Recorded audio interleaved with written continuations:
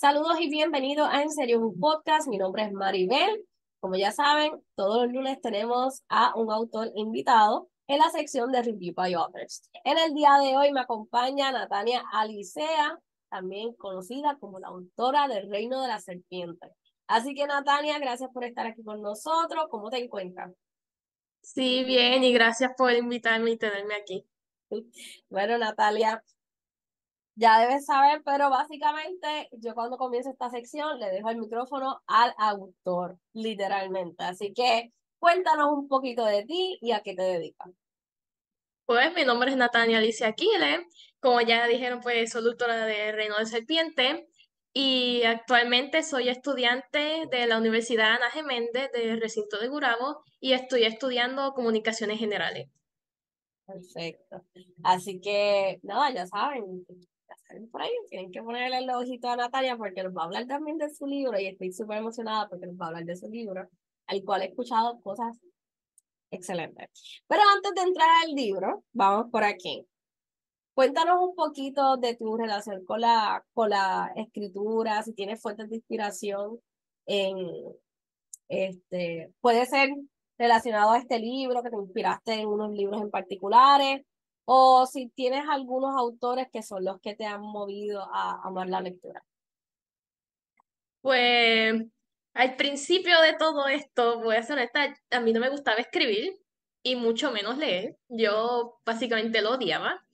Todo comenzó cuando voy a una librería, Casa Norberto, y allí pues veo una novela, la cual se llama Trono de Cristal por Sarah J. Maas y la leí, me encantó y de ahí dije, ay, yo quiero ahora escribir mis propios libros. Y pues eso fue lo que me motivó a comenzar a escribir. Cosas que me hayan inspirado para escribir el, el libro de Reino de Serpientes, pues son muchas. No puedo decir que fue solo una cosa, porque fueron demasiadas. Te voy a dar un ejemplo en los personajes de la serpiente. En mi libro me inspiré de un video que vi en YouTube que hablaba sobre las titanoboas, que eran serpientes básicamente gigantes que existieron en el Amazonas ya extintas. Es como un ejemplo de un montón de cosas que me inspiraron. Pero básicamente yo me inspiro de todo, de otros libros, películas, series, música, fotos, experiencias que he vivido, experiencias que han vivido mis amigos, familia, todo, básicamente.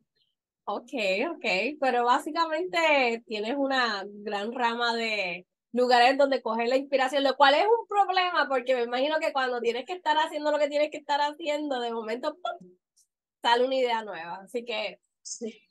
sí, es un mal, pero un bien a la vez, es algo raro. Este, sí, cuéntanos de tu libro, cuéntanos de tu libro. Mi libro, pues, es el primero que he publicado es el primero de una trilogía, o sea que hay dos libros más. Ya están escritos, el segundo lo estamos editando. Y el libro trata pues que hay un continente y en este continente hay cinco reinos. Entonces uno de los reinos se revela y causa una guerra. Entonces, como dice el título, Reino de Serpiente, hay cuatro serpientes sagradas que fueron creadas por la diosa y tienen poderes. Y les dan sus poderes a cuatro personas que se conocen como bendecidos. Entonces, estos bendecidos ahora tienen que ir y resolver el problema de la guerra porque su deber es proteger el continente. Y pues ahora tienen que detener esta guerra. en el lapso de todo el libro se ven sus vidas de los dos personajes principales, se descubren secretos, se tratan temas de guerra, ah, traición, sangre, hay muerte, también hay temas como lo que es el perdón, el amor a la familia. Y sí, se revelan muchos secretos a través de la novela. Ok, ok. Yo siempre pregunto si el libro va a ser una saga porque me gusta prepararme emocionalmente. So, que, que es bueno que me lo hayas dicho desde el principio, como que estos son tres libros. Prepárate porque son tres libros. Y yo, ok, me voy preparando. Sí, el segundo le estamos editando y esperamos que al finales de este año lo podamos publicar. Bueno, esperamos que sí. Así que eh, siempre ese proceso se hace eterno, el proceso de editar y todo este proceso, así que esperamos que todo corra bien. Y has tenido, sé que has tenido en las redes un, que te sigo, y sé que ha ido a escuela a, a llevar el mensaje de tu libro, ¿verdad? Así que, ¿cómo ha sido esa experiencia también? Porque el libro es bastante... By the había escuchado esa premisa nunca eh, en, en, en mi vida, pero me parece interesante el, lo de la serpiente, pero no quiero entrar ahí, entramos después. Pero, y esa experiencia de tú poder llevar la información de tu libro a las escuelas, a diferentes jóvenes, ¿cómo, ¿qué tal ha sido eso para ti? Pues para empezar, yo no pensé que el libro iba a tener tanto éxito. O sea, los primeros años como que tienes que llegar al público, que te conozcan, que conozcan el libro. Y es como que tanta gente se ha interesado y lo ha comprado que eso como no me lo esperaba, no lo esperábamos. Y aunque no lo parezca, yo soy bien tímida. A mí no me gusta dar presentaciones orales y charlas en la universidad con un estrés bien malo. Pero cuando fui a las escuelas a llevar el libro, me encantó. Me encanta ir a las escuelas y poder hablarles de esto y de todos los mensajes que tiene el libro. Y me encanta ver que hay tantos jóvenes que les apasiona la lectura y la escritura y cuando se acercan a mí me dicen, mira, yo quiero escribir y yo pues hazlo. No importa que tu edad o si crees que no puedes, yo les digo que siempre lo hagan. Porque es que me encanta ver que hay tanto talento en cualquier área en las escuelas. Bueno, pues me alegra escuchar eso porque es necesario, de verdad que es bien necesario.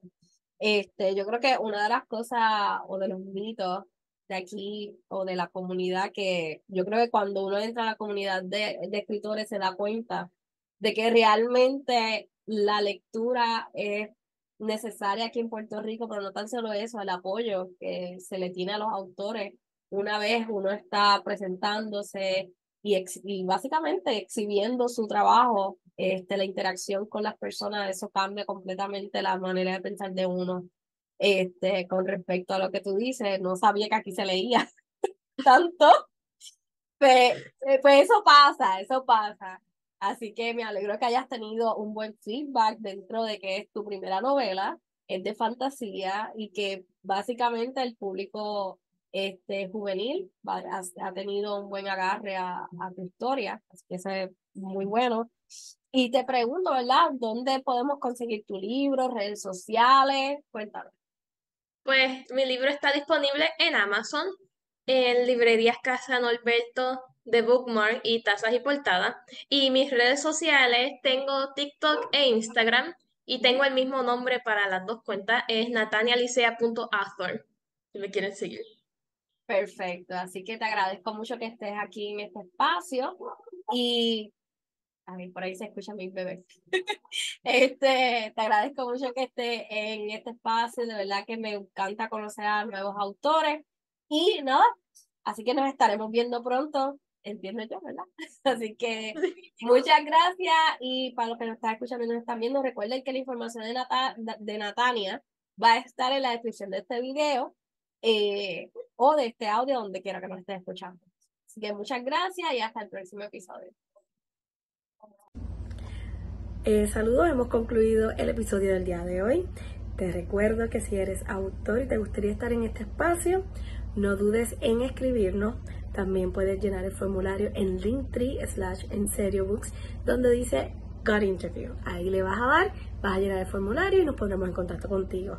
Y si eres fanático de la literatura, quieres seguir conociendo sobre otros autores, puedes darle seguir a nuestro canal de YouTube, darle a la campanita para que te notifiquemos cuando tenemos un autor aquí invitado y también nos puedes seguir en nuestras redes de Facebook, Instagram y Spotify. Así que muchas gracias y hasta el próximo episodio.